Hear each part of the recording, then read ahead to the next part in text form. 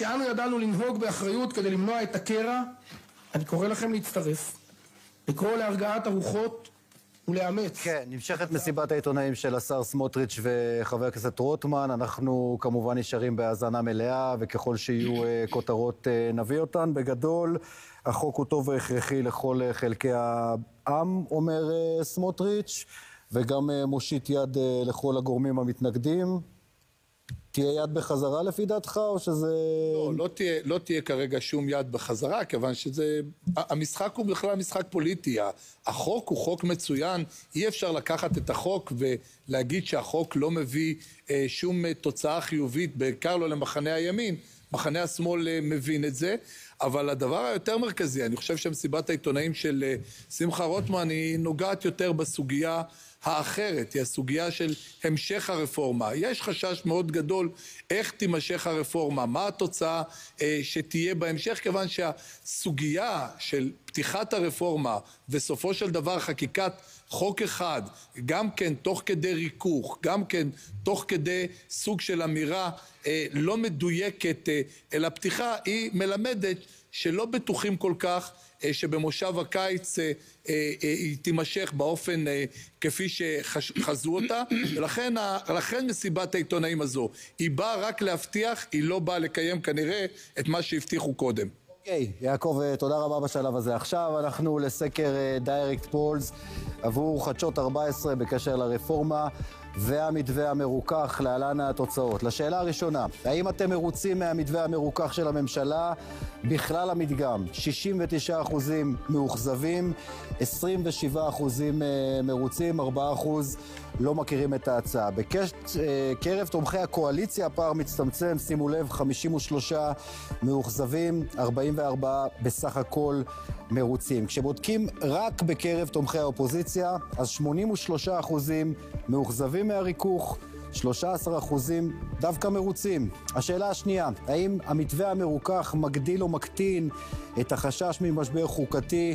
אלה התוצאות. 45 אחוזים סבורים שהמתווה מגדיל את החשש, לעומת 30 אחוזים שחושבים שהחשש אה, קטן, וכרבע ענו שזה כלל לא משפיע. זה בכלל המדגם. בחלוקה לגושים תומכי הקואליציה, חמישית אומרים שהחשש גדל, 48 אחוזים חושבים שזה דווקא מרגיע את החשש ממשבר חוקתי, שליש אומרים ללא שינוי. בקרב תומכי האופוזיציה, 67 אחוזים מגדיל את החשש, 14 מקטין את החשש, ו-19 אחוזים אומרים שזה בכלל לא ישפיע. שאלה שלישית ואחרונה, האם המחאה צריכה להיפסק בעקבות הריכוך בכלל המדגם? 43 אחוזים אומרים כן.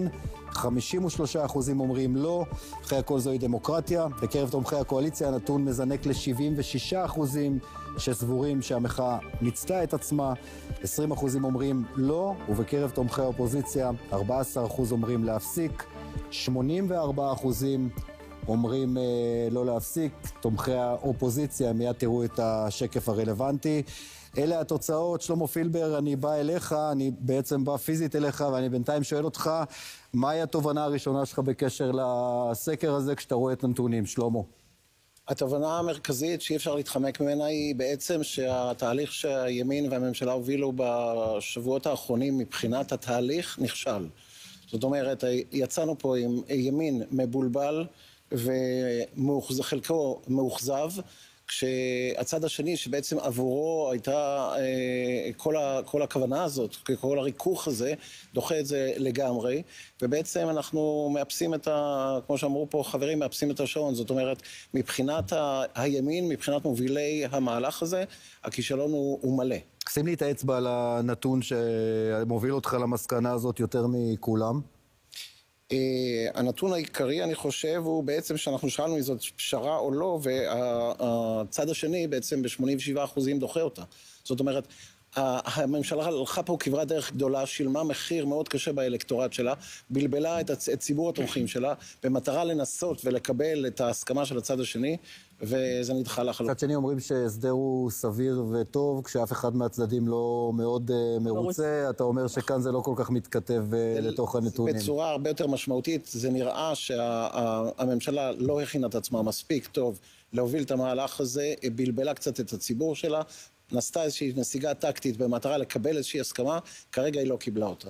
יעקב, אתה אומר, זה מוביל את הליכוד ואת אה, ראש הממשלה נתניהו לחשוב על איזה סוג של ריסטארט, ככה הגדרת את זה בבוקר, למה הכוונה? אני ארחיב, זה לא רק אה, בליכוד, בקרב ראשי הקואליציה, יש אה, מה שנקרא חישוב מסלול מחדש בצורה מאוד ברורה. יכול להיות שתוצאות הסקר של מומו פילבר כבר הגיעו לידי מקבלי ההחלטות אה, קודם לכן, גם, ב, גם בליכוד, גם בקואליציה עושים סקרים, לא, לאו דווקא אה, על פי מה שנקרא, מה שמומו הביא לנו, והסיפור של חישוב מסלול מחדש מתחיל בכמה רמות. אחד.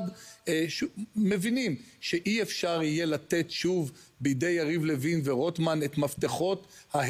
ואת מפתחות האוטו ואת ההגה של לנהוג את הרפורמה בהמשך, כיוון ששלושה חודשים הם עסקו אז מי הוביל את זה, נתניהו בעצמו? רק נתניהו וראשי הקואליציה, השרים הבכירים לא מוכנים לוותר, לא מוכנים להיות במצב שהם עצמם מספרים. מספרים הבכירים, אף אחד לא שאל אותנו, אף אחד לא התייעץ איתנו, אף אחד לא דיבר איתנו. אנחנו נכנסנו אל תוך האירוע הזה בסוג של הפתעה. את זה לא מוכנים לקבל. הדבר השני בעניין הזה, שרון, רק משפט אחד. הנושא הביטחוני, הנושא המדיני, יוקר המחיה, אלה הדברים שראשי הקואליציה דורשים מנתניהו להוביל. הרפורמה תמשיך.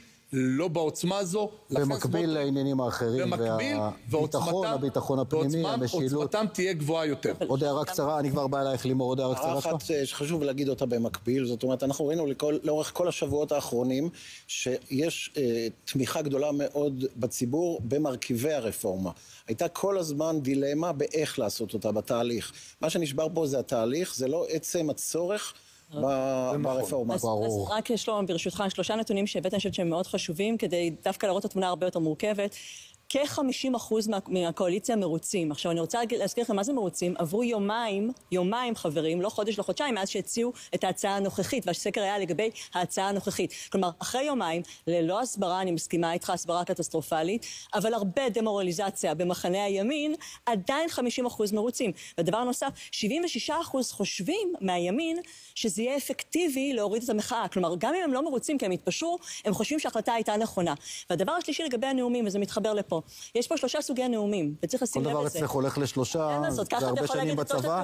לא, אבל תגידי רק את הטיעון האחרון במשפט. יריב לוין נתן נאום לימין, סמוטריץ' ורוטמן נותנים נאום לשמאל, ונתניהו לדעתי ייתן נאום לכל העם. תובנה שלך, אפי.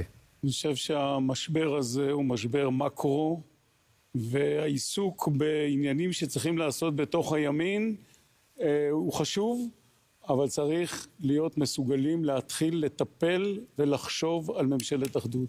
אם יש אירוע בתולדות מדינת ישראל שמחייב ממשלת אחדות, שמחייב את היכולת לאחד את הכוחות ולהסיר את החשדות שהגיעו לרמות הרסניות, זה עכשיו. ואני חושב שכשגדי אומר מצבנו הביטחוני מעולם לא היה קשה יותר, הוא צריך גם להיות מסוגל לשלם את... אני רוצה לתת לך כותרת שלא התכוונתי לתת אותה, אבל בהמשך לדברים של אפי איתם, אני מדבר היום עם בכירים במחנה הממלכתי, הזמירות שאני שומע שם, לא שמעתי תקופה מאוד ארוכה. נכון. יכול להיות שהתוצאה, סליחה אפי, יכול להיות שהתוצאה היא של החוק הזה שיוצא. אני מודה שהיו לי היום שיחות שהופתעתי מעוצמתם. אני שמח שאנחנו אני, מתכתבים באותו דבר, כן. ולא שמעתי אותם, אתה יודע מה? בשבת בבוקר, שנפגשתי עם אותם בכירים, לא שמעתי את הזמירות האלה. הקולות במחנה הממלכתי בעיניי מדהימים. שמה, תן לי בכותרת במשפט. בכותרת נכונות אחת, להיכנס, נכונות, רצון להיכנס. נכונות, נכונות, רצון, הבנה שהאירוע הזה צריך ללכת למקומות אחרים, חיוביים יותר, מפתיעים ביותר. יכול להיות שיגידו, תשמעו, חיות שלחה אותנו כדי לעשות את התרגיל, הם מפחדים, אוקיי. זמירות אחרות. תשלים במשפט. אני, אני רק מסכים לגמרי עם ברדוגו היום.